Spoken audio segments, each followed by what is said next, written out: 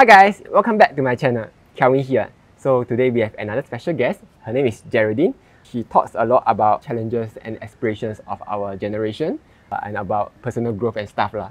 So welcome to the channel. Hey, thanks for having me, Kelvin. Actually, how do I pronounce your full name? yeah, this is a question that I get the most often, like even when I was in primary school, right? So um, when I was in school and all that, teachers always ask when they read the registration list. So the simple way to remember this is like Pia. Pia. Correct. You know like Popia, Tau Sa Pia. That's the same way. Yeah, yeah, yeah. Fantastic. Yeah, so that's how you pronounce my, my last name. okay, now you guys know. So you were studying journalism in the past, then I saw that you not too long ago changed to working in a software as a service company. La. So how, how do you actually make that change? Because it feels like the whole thing is unrelated to what you are studying in the past. Yep, correct. That's a, also another question that I get pretty often. So, you know, when, when I was in school, um, you know, I studied journalism and I also studied public policy. And I had this uh, dream and vision uh, to make an impact on, on our society. And I thought that, you know, journalism or maybe going to the public service would be the best way that I can actually contribute mm. um, to, to Singapore.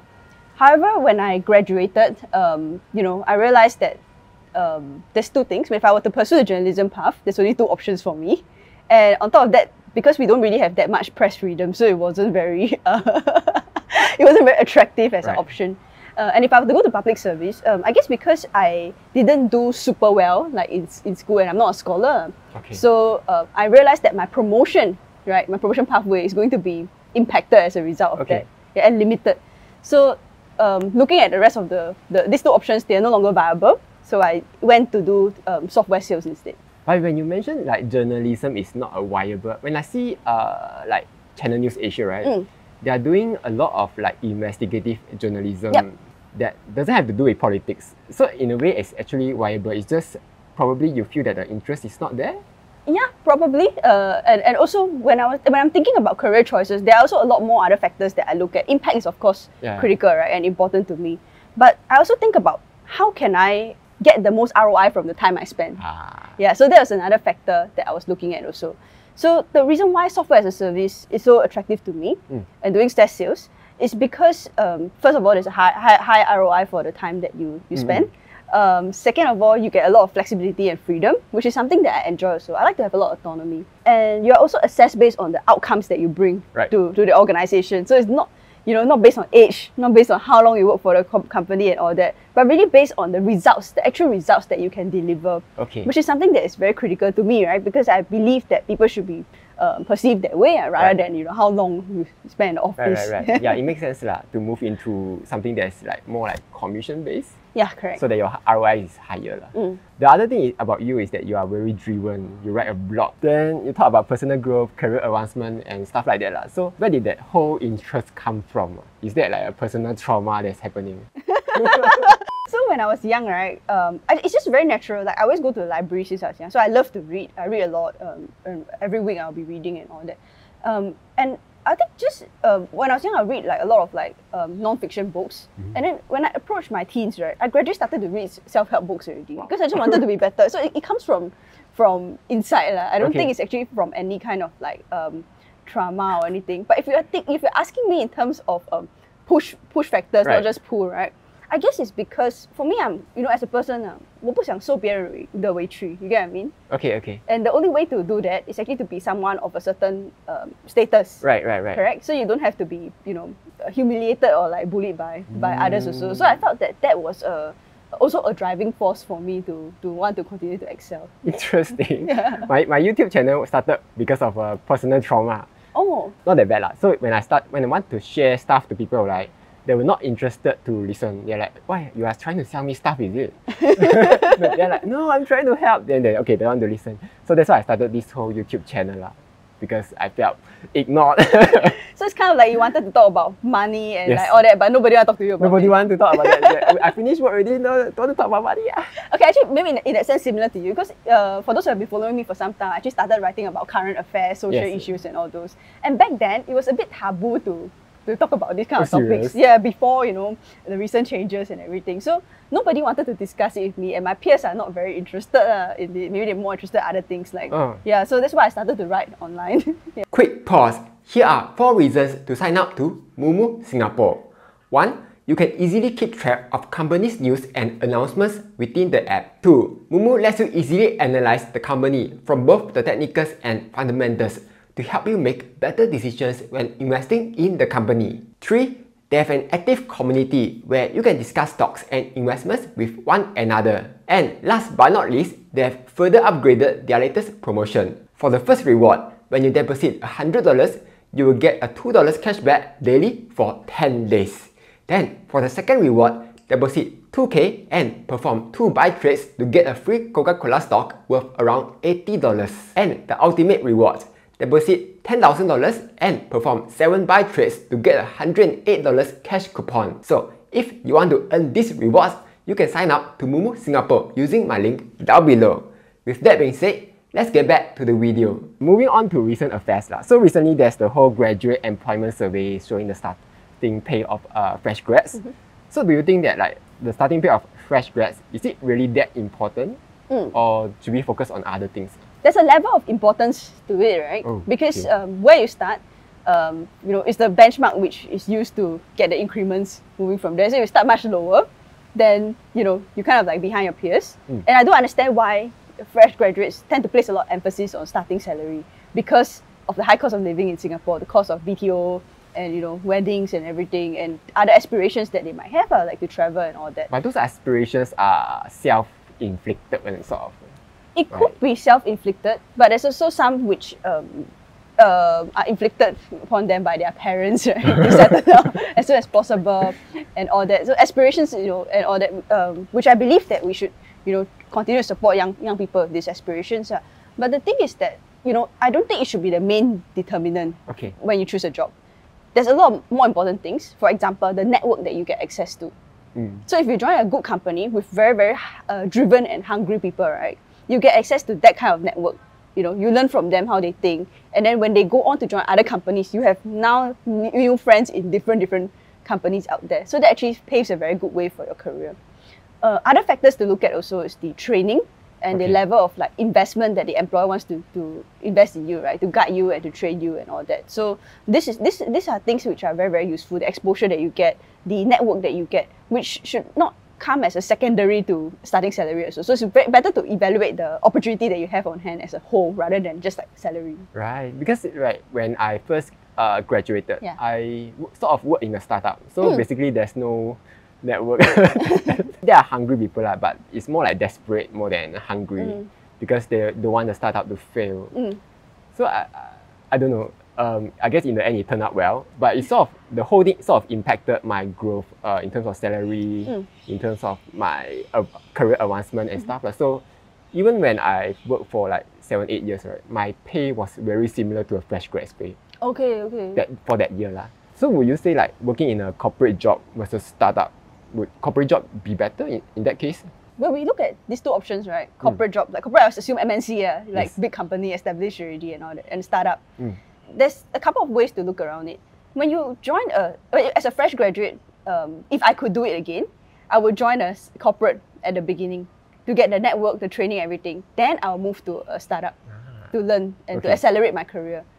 And when it comes to training startup, especially during these macroeconomic conditions, there's quite a lot of things to look at. It's not like every startup is going to be high growth. Every startup is going to be good. They, that's what they will tell you in the interview. But then you go, you go become very rich when we IPO and everything. That's the story that they will tell. Everybody say the same thing, rocket ship uh, yes. and all that. But the thing is that about startup is that you have to really evaluate. Okay, first of all, what stage? I would say seed stage might be a bit risky if you're someone who loves stability and all that. So mm. typically, I look at companies which are Series A and above okay. because that's when they already achieve product market fit. Another thing I look at uh, is also the founders, mm. right, and also the mode of the company, mm. like how you know, are they really doing something disruptive? You know, it's like is that legit? And also look at the investors who invest in them. Wow. Who are the investors? So okay. this is how this is how I assess an opportunity. Yeah. yeah. But I think fresh grads won't really look at that stuff, right? They just look at the pay and just I want the job. Then that's the job. That's the, they just take That's it. why we're doing this interview. Speaking of uh, starting pay, la, so for art art graduates, yeah. their starting pay is like consistently the lowest for the past ten years. Mm. But the re- whole reason they wanted that is uh, they are very passionate in the whole art subject thing. Mm-hmm. Uh, they want to be uh, editor, artist, or mm. whatever. So, um, how do you even get paid well in that kind of creative industry? Join government, no. okay, that's one option, right? If you join government as an arts graduate, yeah, you tend to have a starting higher starting salary. Right. Yeah. Um, but that's that's one option. Um, when I when, I, when you say arts, I think you mean humanities also, right? Like mm-hmm. sociology, psychology, yes. and all that. And I can totally identify because I was an arts graduate. Communication and journalism is uh, considered as public policy is considered arts and social science also. Mm. So um, for me, I think that very important as someone in this field to really ask yourself, uh, what's the role passion play in my life, right? Passion can evolve over time. Will I still be interested in this same thing when I get more exposure to other things? Okay. So that's the first question ask yourself. Second question to ask yourself is really that, you know, do I need to fulfill my passion at work, or can it be from outside sources? Mm. So like for me, uh, I wouldn't say software as a service is my first love, right? You know, correct? But I do enjoy, I do grow to like this field very, very much. Okay. And at the same time, I pursue my original passion, which is like volunteering, writing, mm, you know, the more mm, mm, mm. creative, uh, fun stuff, like outside of working hours. But don't those don't pay well, right? yeah, arts pay well. Uh. You are an example of someone who pursue like something creative and it, it does. Mine, mine is just the outliers. Yeah. Things can change. Like like the five year before me, before yeah. now, I'm more interested in games. Now I'm more interested in finance. Mm. Uh, so it doesn't have to always be fixed the whole route throughout the way. La. Yeah, correct. Probably the art thing is good for now as a starting point yeah. uh, to get a degree or whatever. Yeah. Then you just move on from there. you don't have to. You don't have to work your your uh, your job doesn't have, doesn't have to be like your childhood passion or something. Okay. Yeah. what if we find ourselves in a job that we don't like? um, like for example, we don't like the job scope. Maybe the interviewer didn't tell us about it, and we only found out after we start the job lah. Mm-hmm. Uh, maybe we don't like the colleagues. Mm. Maybe my boss is an idiot. What's my next thing to do? Should I like leave the job or just like change my mindset? There's no no perfect job, right? Okay. You go everywhere. It's just different set of problems okay. that you are going to face. So for me, what I encourage people to do when they're upset about their job is to really, you know, before before you even start your, your work, you start what's the top three reason why you're here, right? Mm top three anchor. It could be something, it could be your direct boss, you like him very much. It could be your colleague, you know, that you like very much. Or it could be the learning opportunities that you get. So you need to constantly reassess, right? I mean, I do this every quarter and every wow. six months. Yeah. Is this job still fulfilling my top three reasons? Or has my top three reasons actually evolved over time? Okay. Because if you don't have something to anchor yourself, you always find things to don't like. Oh, the pantry not enough Milo right? Not enough biscuit or like some other stupid things that you you don't like, right? And then there's no such thing as a perfect company, so you need to know your why. It needs to be very very strong. Mm. And let's say, for example, you come to a situation whereby, well, this company, they, they remove your boss that you like, you know, then the, some structural changes that really cause you a lot of pain. Mm. And then you re- reevaluate your three reasons, and these three reasons has either shifted or is no longer there. Mm. Then um, I think it's time to to really look outside, but don't imp- be impulsive and quit your job, especially in this current condition, right? Especially if you work in tech. Yeah, I think it'll be good to really first of all take stock, see whether you have adequate emergency funds. Right. So I recommend about. I mean, I'm a bit more conservative. So 12 to 18. Oh, wow. Yeah, yeah, yeah. I'm very conservative. Yeah, 12 to 18 months, and at the same time, um, you know, start to network. Yeah, start to get to know more people and all those, and reach out to them so that you can actually, you know, have people to help you right during this journey of looking for a new role. Uh, but what, what's your view on job hopping? Like, let's say I like this company a lot. Mm. Uh, should I change jobs every one, two years just to get that increment instead? There is no right or wrong answer. So leaving a job within a short frame of time, is mm. that is that what you say? Yeah, yeah. Uh, it depends on how often you do it. Because some, every one year. Yeah, if every year you do it, yeah. and people do a resume, they will feel like it's a red flag, right? right? Like you have no strong why, okay. right? But um, I guess that there are times where you have to make that judgment call to do it. Okay. For example, in the past two years, salaries in tech have gone up like a lot. Yes. If you don't change, you cannot tap on these new um, right, right, right. opportunities, right? That uh, that have been given. Mm. So so it, it, you have to weigh it out and make sure that you, if you want to do short stints, you also have long stints to kind of like back you up. Uh. Yeah. For example, I left my previous job in ten months only. yeah, correct. My why, job. Why do you leave your job? Pull factors. Money, yeah. Yeah, correct. okay. yeah. And also like learning opportunities. Okay, right? okay, okay. Um, but because I wasn't afraid to make that jump. Okay, I guess I was afraid to make that jump, but eventually I convinced myself not to be afraid. Because if I look at my previous tenure, a lot of my roles is about three years. Yeah. You know, that kind of thing. For, for me, I left my job all because all the startups fail. Okay. so don't be afraid to leave the job. Mm. Uh, because if you stay there, even the company can just kick you out anytime. The company can just collapse. So I think always put yourself as the priority rather than the company as the priority. Then with all the tech layoffs that you mentioned just now, is it actually a wise uh, wise idea to go into the tech industry right now?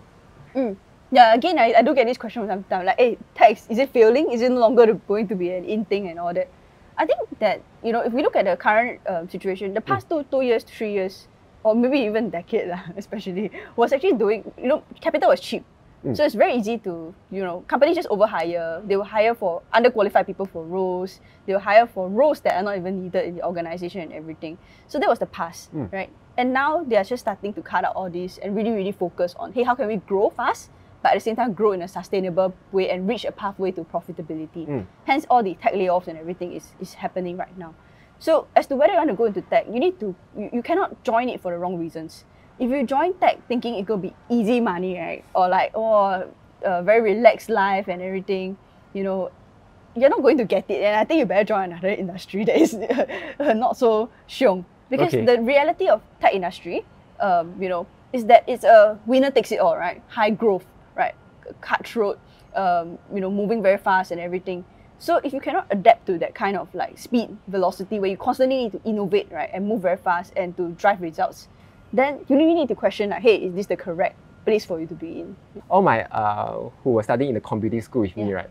Almost all of them went out of that field already. Okay. They've moved on to other stuff. Lah. Um, so I think it's like what you say, it's very cutthroat. Even in that 10 years, I have to keep re-innovating myself every one or mm. two years. Otherwise, I'll be jobless really. mm. So, but the money is good. Like, it's really that good if you are in the correct company, mm. in the correct industry. Like like for me, it was mine is in games, and games were like uh, sort of, sort of dying. It's, it's not a, a necessary thing. Unlike big companies like uh, Google, Microsoft, that kind, those pay very well. But if you go to, for the smaller companies, those are like meh, they kind of pay lah. Hmm. Finding a job is super tough lah. I know that a lot of people try to email people, then they email like 50, 10, 100 resumes out, but no one ever replies. So do you have like any tips to improve the chances of success? Yep.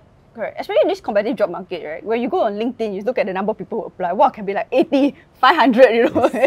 it's quite crazy because there are a lot of talent being let go and mm. it's very competitive as a market.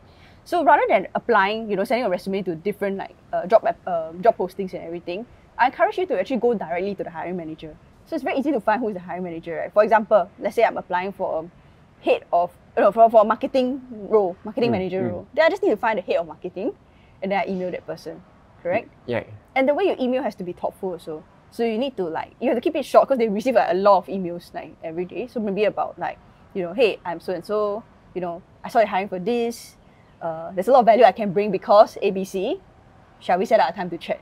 Okay. Yeah. You can use ChatGPT for that. ChatGPT don't understand your background.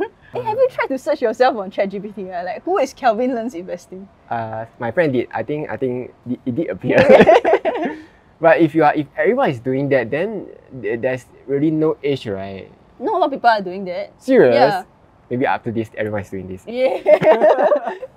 Another thing is you can look for recruiters. Recruiters are very incentivized to help you get a job and also help you to get highest possible pay because it impacts their commission. Right. Yeah. So recruiters, external recruiters can be one. So I worked with an external recruiter to get this this role. So Oh, can you really approach a recruiter? No, they have because, to approach you. Right, So, so in my case, all the recruiters approach me. Yeah. So you add them first uh, to get noticed.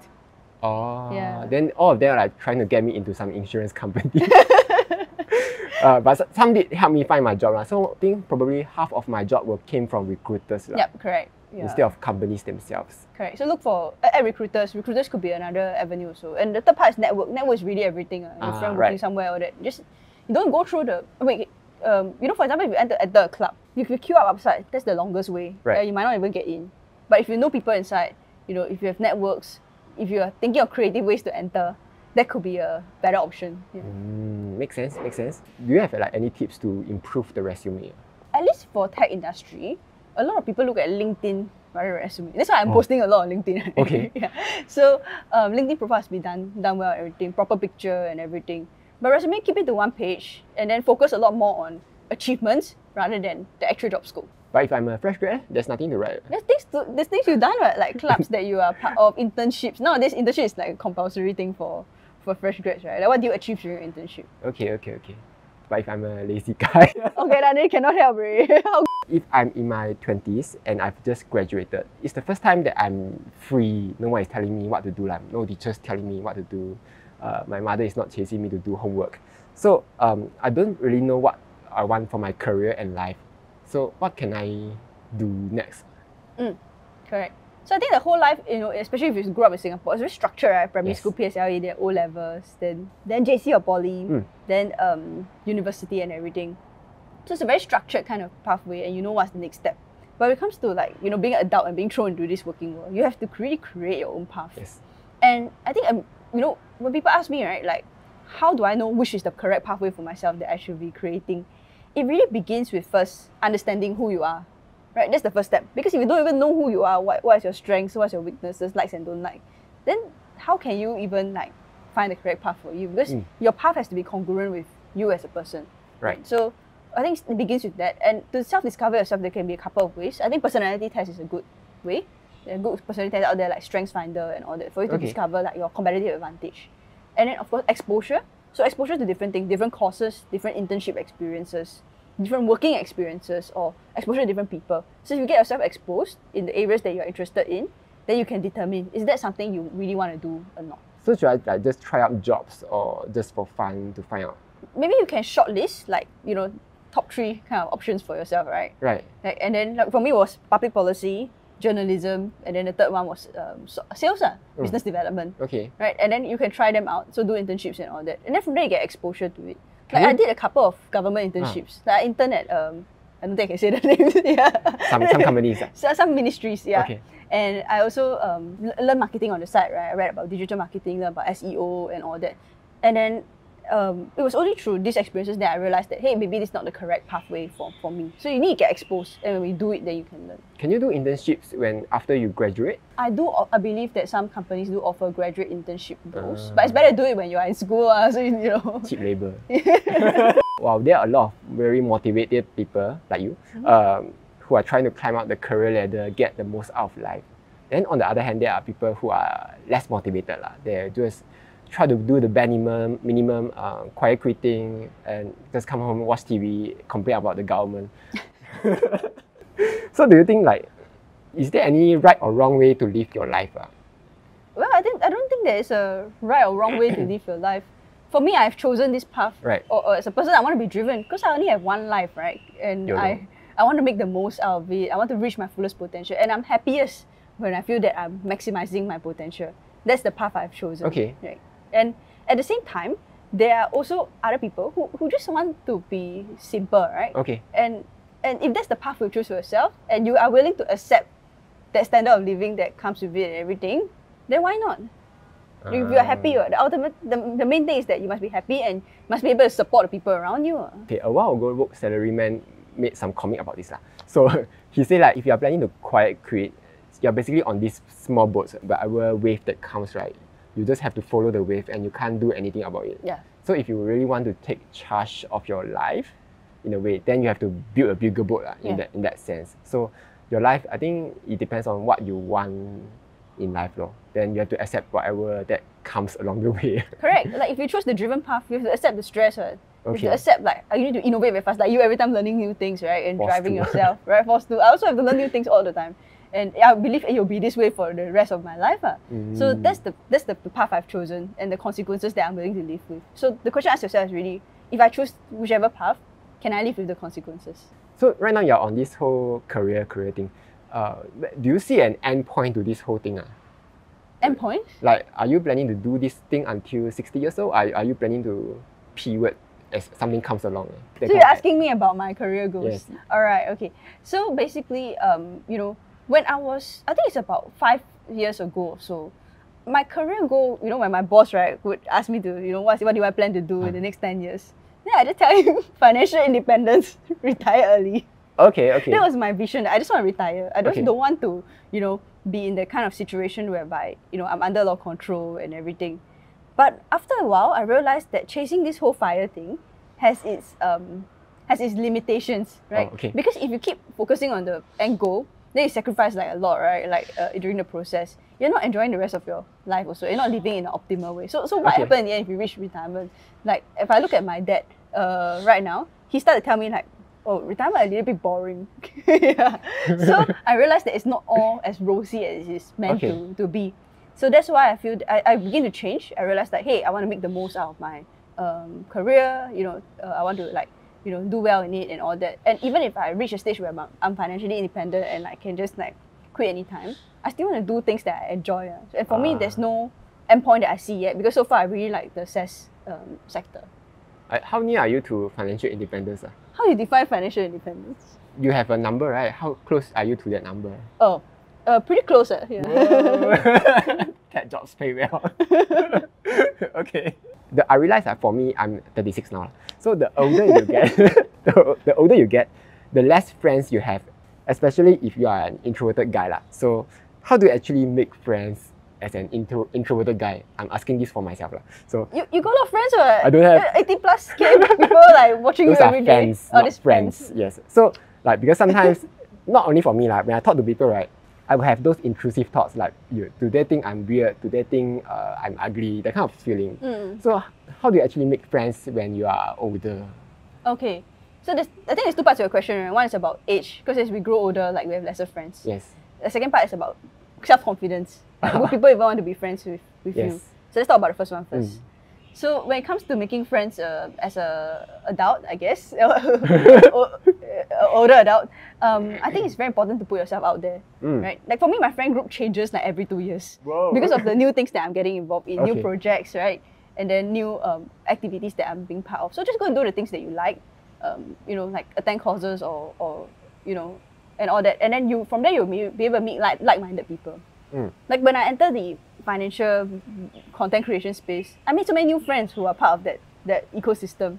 And then now at my job, like I have to focus a lot on like working with startups, digital natives, right? Mm. So that's when I really got to know a lot of people in that space also who are also interested in the same thing. So that's how I expand my social circle by constantly, you know, identifying things I want to explore more interested in and then putting myself in that kind of like um, Okay, okay. environment. So that's the first part. So in that way, right, it feels like friends have a purpose. Okay, so when I think of friends, right, it's more like okay, I can tell you secrets, that kind of friend. Yeah, so yeah. when when the friends that you are mentioning, it feels more like a tool to achieve something. That kind of friend. Is that con- really considered a friend, or more like an associate or colleague kind of feel? Oh, right. Okay, I get what you mean. So your, your, your question is basically if I make friends Right. in, let's say, for example, the startup scene which I'm, you know, working as part of, right? Yeah, yeah. Are they more like allies or are they yes. more like um, actual friends? Yeah, yeah. So I think it depends on who. So when I look for people, right, I will look for people who are those who uh, are going to play long term games with me. Okay. So if I see someone is transactional, Mm. like you are just being friends with me just for the benefits that I bring, Mm, then I will not want to engage with this person. Oh, Yeah. Okay. uh, uh, uh, I will still be courteous and polite, right? Because that's the correct thing to do and how I'm brought up. Okay. But it doesn't mean that I want to spend time, you know, beyond that. But for Mm. those that I find very sincere, who are very willing to help Mm. and who are very willing to share and all that with me, uh, and who actually contribute back to the community and believe in things that are bigger than themselves, beyond just uh, money and like Okay. you know success, right? Then I want to be closer to them and then Mm. slowly build that friendship. And then eventually it could reach a point whereby I start to share more secrets. so it's like a, you know, it's a you have to see about and identify the right kind of people. Okay, okay, okay. Then what about the um, self-confident that part? Yeah. Then when actually I also struggle with it. Oh. Yeah. When I first graduated, I would think that like, hey, why why would people don't want to talk to me, right? I'm just a Uh. fresh grad sometimes and, and all that. And like especially I work in a male dominated environment. Yes. Right. And I would think that people will, will not think that I'm competent and and I have some kind of this self doubts. I won't say it's very strong, but I do have this type of like self doubts also. Mm. But I think that confidence comes from first earning your stripes. Mm. You know, as you start to achieve more and more, you need to take stock of these achievements and remind yourself, right? Like, hey, definitely people want to talk to you. Definitely people want to talk to you. What? Come on, you're Kelvin Learns Investing. eh. So like when people want to talk to me, right? Sometimes I I'm also like doubting a lot. Like how come last time nobody want to talk to me? Then uh, now everyone want to talk to me. Is it because I've I can be used in that way? yeah. So nowadays when I make friends, I like, hmm, is it a really genuine thing or is it a transactional thing? So No, So I, I, I completely yeah. agree with you. I completely agree with you because I'm content creator myself. yes, Sometimes it's, you start to see like schoolmates from last time suddenly want to be close to you, want to talk to you, want to meet up and all that. yes, that kind of feel. Yeah, that kind of feel, right? Yeah. Like suddenly, like you know, all along you don't care about me, and then when I start to do well and all that, then you start to like you know, um, be charming and everything. So that's very normal. it comes with part of the role of being a content creator. But I think it's very important to really um, trust your gut sometimes. Mm. And then secondly, look at that person's actions, right? When they talk to you, what is it about? Like, do they do they offer to help you? Do they try to share knowledge and all that, or are they Ah. just taking, right? That that one is something you can only see through through time. common advice is that when you are young, uh, you have to work hard, save, and invest your money so that you can compound your money. lah. The whole magic of compounding, whatever. Then, on uh, recently, I've also started to see ideas where when you are young, you have to live life as much as you can. Don't worry about money so much because later on you will earn more in life in your 30s, 40s, especially in the tech industry. So, which is the optimal optimal path to go? Like, should you save hard, work hard, or should you like live carefree in your 20s, then only start to worry about all the rest later on?